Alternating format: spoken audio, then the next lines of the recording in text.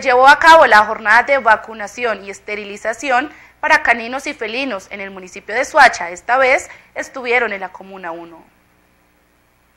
La unidad móvil veterinaria perteneciente a la Secretaría de Salud del municipio de Suacha ha estado realizando varias jornadas de vacunación y esterilización canina y felina en las diferentes comunas del municipio. La Comuna 1 no es la excepción. Estuvieron vacunando mascotas desde los tres meses en adelante. ¿Qué vacuna le están aplicando hoy a las mascotas? Estamos aplicando la vacuna contra la rabia eh, a las mascotas, eh, machos, hembras, caninos y felinos. ¿Desde qué edad? Eh, desde los dos meses se puede estar aplicando la vacuna desde que esté en buenas condiciones la mascota. ¿Y qué cuidado se debe tener después de la aplicación de la mascota?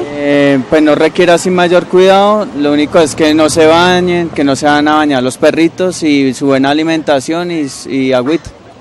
Con la fotocopia de la cédula del dueño o cuidador de la mascota, la fotocopia de un recibo público que corresponda a estrato 1 o 2 y la fotocopia del carnet de vacuna antirrábica vigente, se llevó a cabo también la inscripción para la siguiente jornada de vacunación y esterilización programada para el 27 de febrero en la Comuna 1. Bueno, estas, eh, esta semana hemos estado en la Comuna 2, en, eh, en la alcaldía. Hoy eh, vamos a estar acá en compartir. Hemos tenido bastante acogida acá en, en, en esta comuna se han programado varias eh, jornadas, ya van aproximadamente cuatro jornadas aparte de esta. Eh, el día de mañana vamos a estar en el barrio El Dorado, en la Comuna 6. Y para las inscripciones, las personas que se inscriben el día de hoy, ¿cuándo pueden participar? Eh, las personas que se inscriban el día de hoy pueden participar el 27 de febrero del presente año.